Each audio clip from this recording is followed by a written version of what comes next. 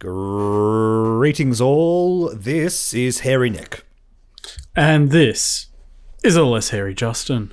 And Justin, once again, we have more X Wing things to talk about.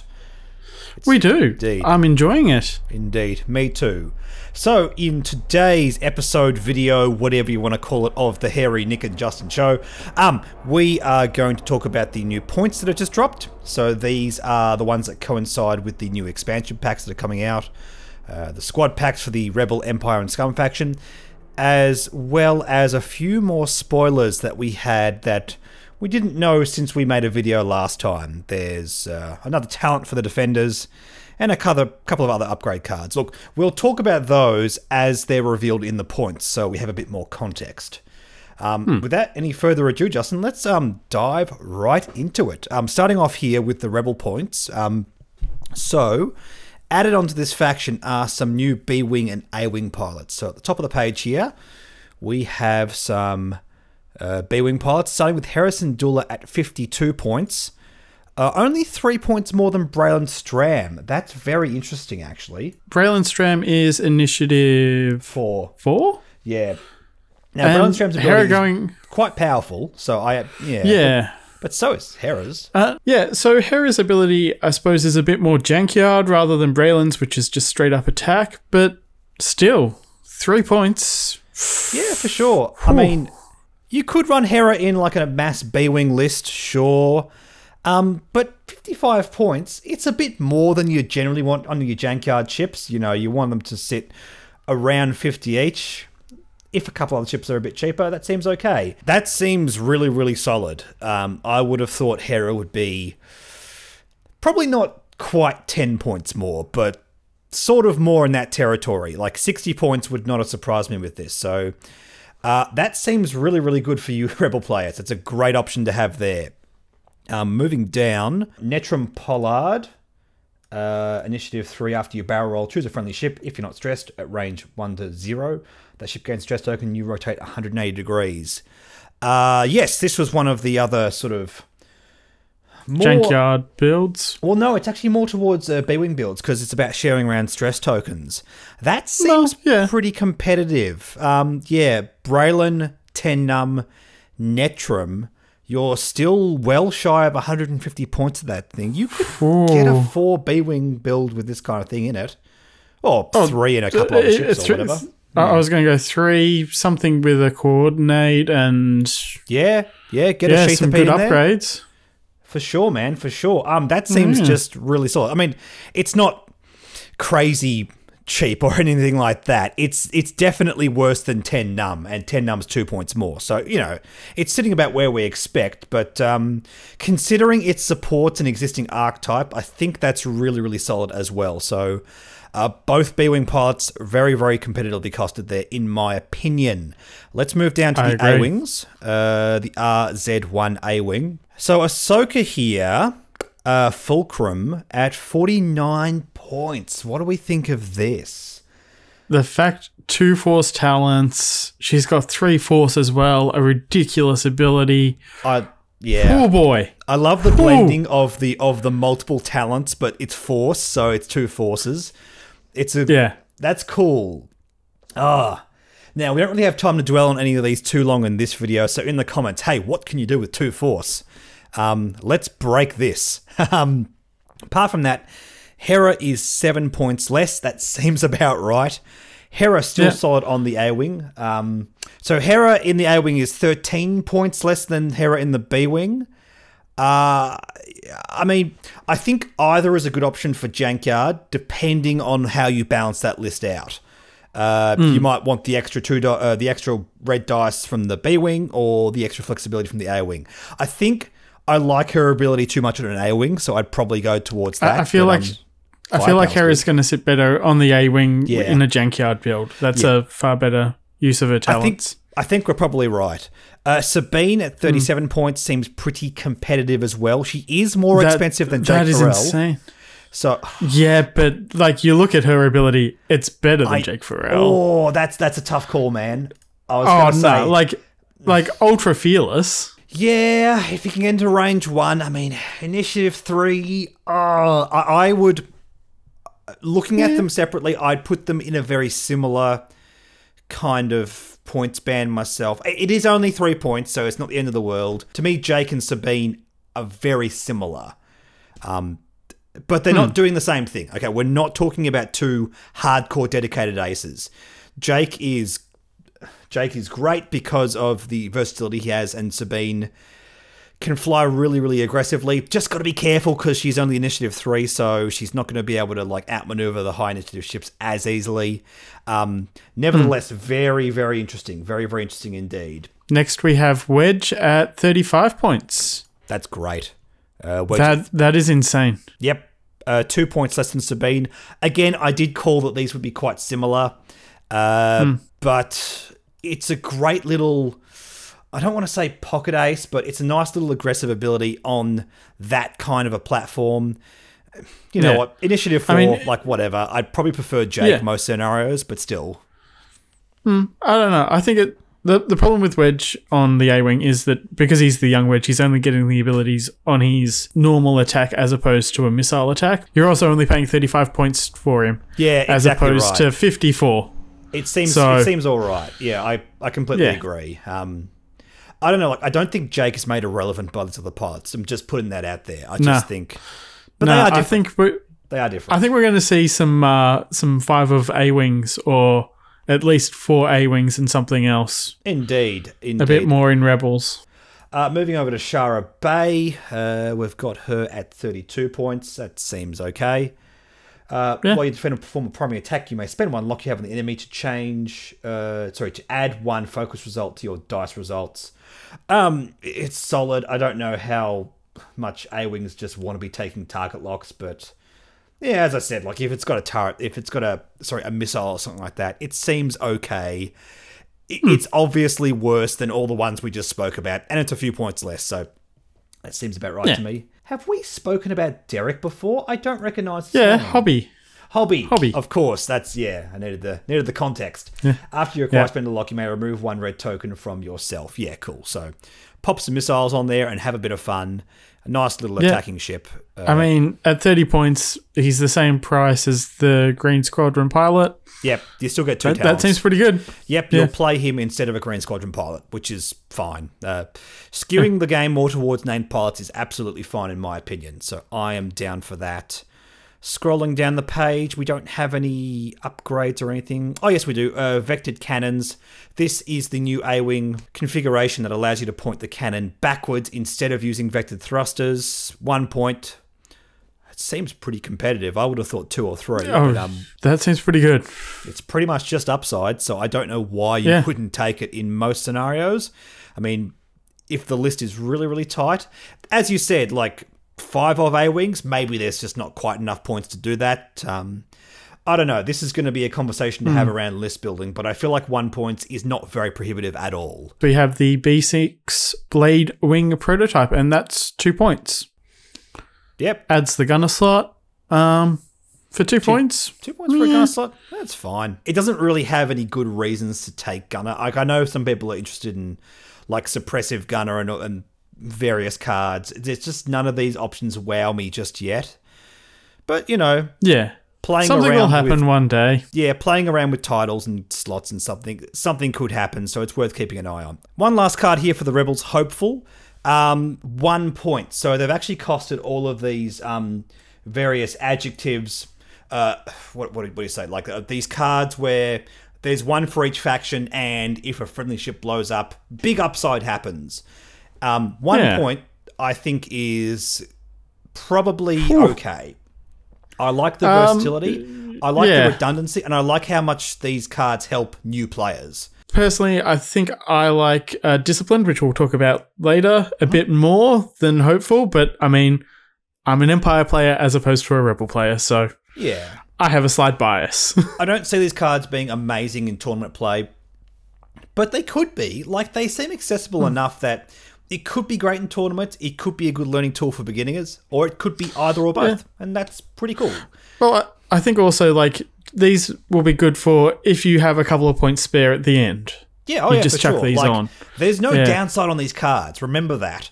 Um, People have commented on these previously, like saying, "Oh, like you're planning for failure." Like, no, you're insuring yourself against failure. It's not like it's- Dead Man's Switch where you there's too much agency for your opponent. This one feels like it's a lot, a lot friendlier, a lot fairer. Yeah, it's a bit more redundant. Yeah. Than yeah. Yeah. Planning for redundancy. That's okay. Yeah. Redundancy, planning for redundancy is okay. Don't um don't stack yourself so far that you know your list doesn't do anything if your ships don't blow up. Don't do that. Don't do that. Yeah. These are not doing that. These is a nice, simple, cheap uh, talent that you can use.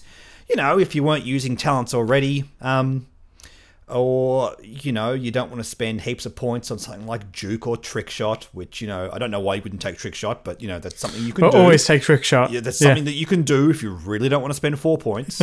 I, I understand. Not everyone's, Yeah. you know, a trick shot lord. Do you like remember myself. when trick uh, was trick shot at one point or was it was I think it it was, always it was two one points or to two begin points. It was oh Yeah. the golden It was era so of good. second edition. It was so good.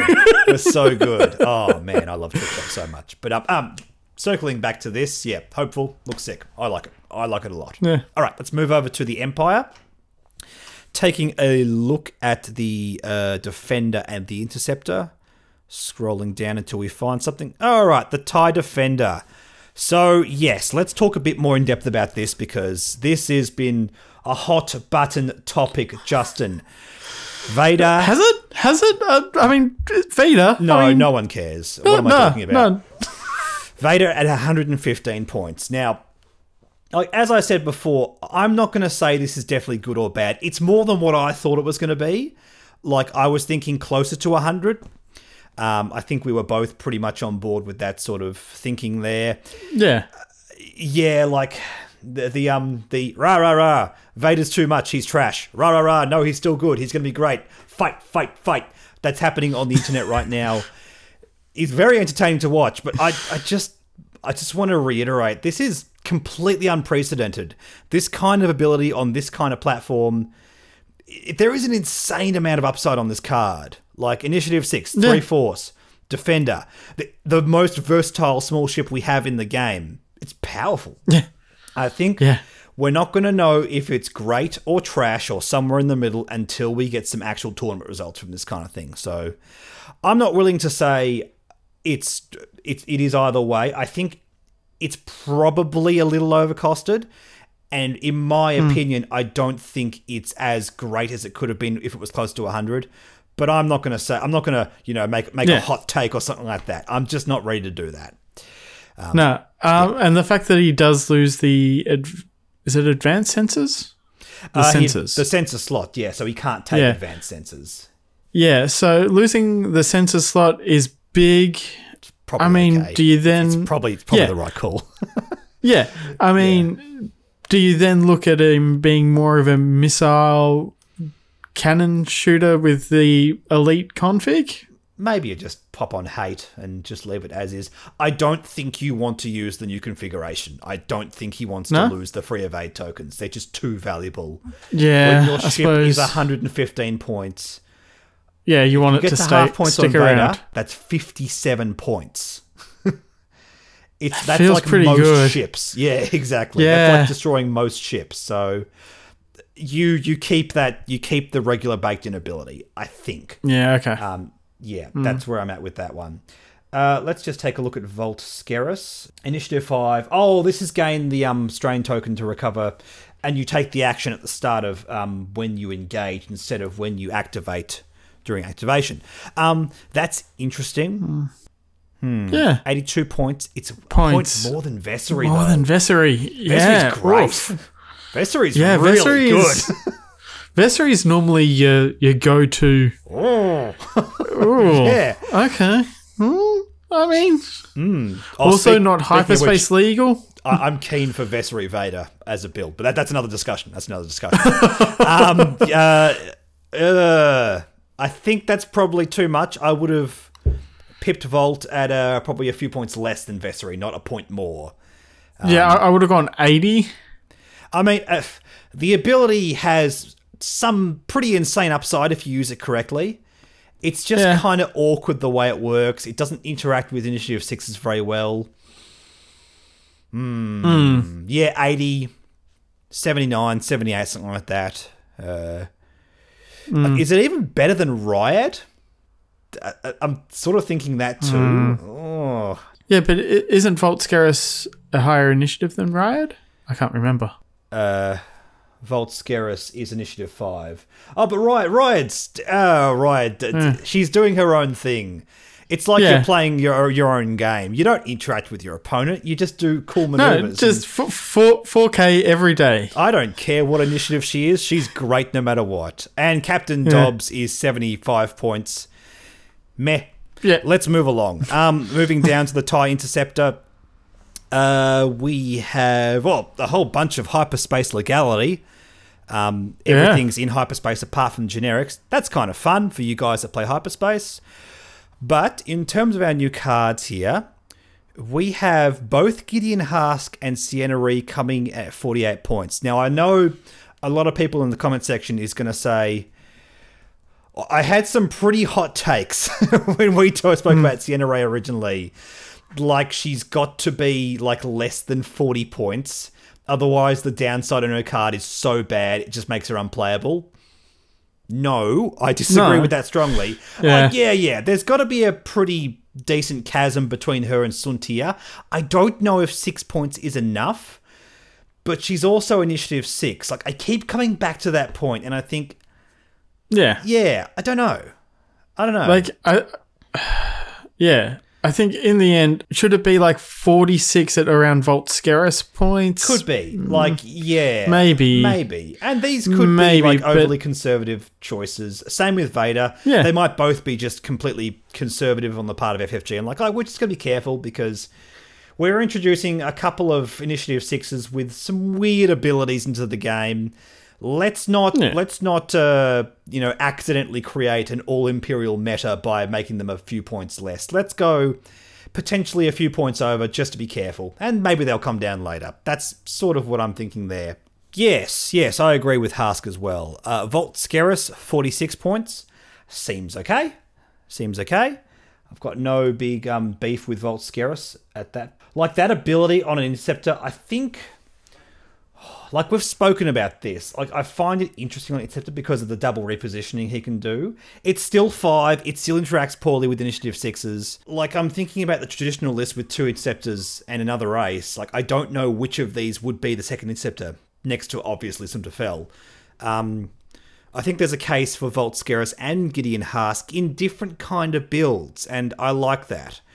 I like that they're, they're obviously not the typical highly tuned Imperial Aces. That's kind of cool to me. Uh, Commandant Goran, uh, Initiative 4. After a friendly ship at range 0 to 3 with lower initiative than yours executes a maneuver, it may perform a red focus. Pretty solid ability. Um, initiative 4. It's not for aces. That's fine. I like that a lot, actually. Um, in terms of like uh, swarm support, I like that it, the Empire's getting these kinds of tools because it really is an archetype that should exist on the Empire. It's clearly a design push from FFG and probably AMG going into the future. So this compared to like Howlrunner or something like that, uh, Lieutenant Lorrir. I'm not so interested in this. It's a very AC ability on Initiative 3 ship, so yeah, it seems pretty cheap, so you know, whatever. And Nash Windrider. Yeah, during the engagement phase, after a friendly small ship at range 0 to 3 is destroyed, if that ship has not engaged, spend the charge to uh, allow it to engage at the current initiative. Yeah, and it's the one recurring, so you can do it once per turn. Uh, yeah, pop that in with some Academy boys. There's a lot of things I want to try with um, swarms. Uh, let's scroll down. We've got a couple of new things happening in these upgrade cards. Uh, the TIE Defender Elite is a two point card. Now, um, as we said when we first had a look at this, it's not really necessarily upside per se, because you're getting rid of the free evade. Um, but, you know, multiple attacks, with cannons, yeah, the cannons aren't quite what they were in second edition as they were in first edition. That's fine. I completely accept that. Uh, but kind of cool.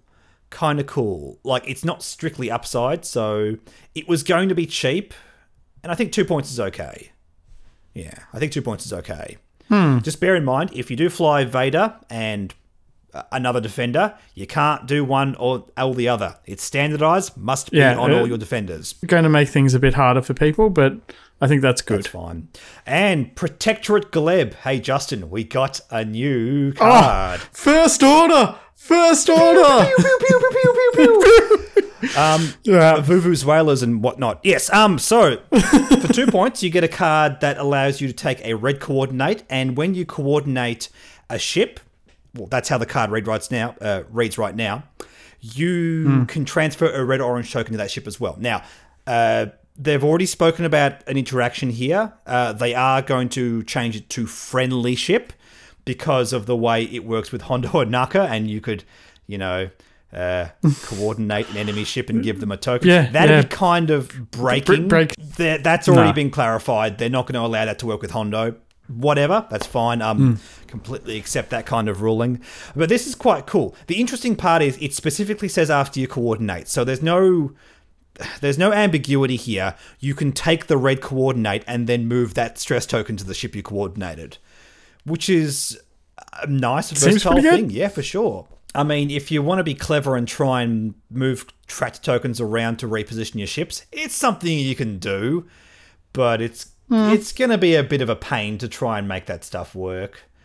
Uh, I don't know if there's any way to abuse that off the top of my head, but I'm sure somebody in the comment section will think of something. So yeah, I like this a lot. It's hey, j- j- ignore the the shenanigans you can do with it. Two points, you give a ship a coordinate. That is very powerful. And Oh, for two points, you'd take that every day. yeah, um, All day, every Empire day. and First Order. I mean, there's a lot of options for this, but on Scum in particular, I really like this. Um, Scum is Hmm. a faction that has previously abused um, coordinates. The little escape pod that came with the um, Scum Millennium Falcon is something people just play because it has a red coordinate. It's so good. It's so good having coordinates. So to pop this on, oh, geez, I don't know, uh, could G1A or Hawk. Um, a fire spray potentially, although I don't know if the fire spray really wants to be losing its actions. Um, Uh, I I was going to say, n- not on yeah, not on Boba. But on Boba, he can't take crew anyway. Um, weirdly enough. Um, yeah, look, Yeah. I'm sure there's look, lots of great examples for this. Two points to me feels a bit undercosted because you know the floor of this card is so high. I think four or five is probably correct on this. I think this may be, it might be a mistake. It just feels like it can do too much on too many different things. Yeah, I, I- I think for Scum, it's going to be. It, it will eventually get raised, maybe on Empire. I don't think realistically right now, First Order. You think it's going to have Like um, the, faction specific pointing? I think it could. yeah, you're not wrong. I, Like yeah. if like if you if you look at um the First Order, you've got two ships that can take crew right now, True. which is the G and the Upsilon. Indeed. They, The G already has red red yeah, coordinate. has a white coordinate. Yeah, good point. and, yeah, so you don't necessarily need it.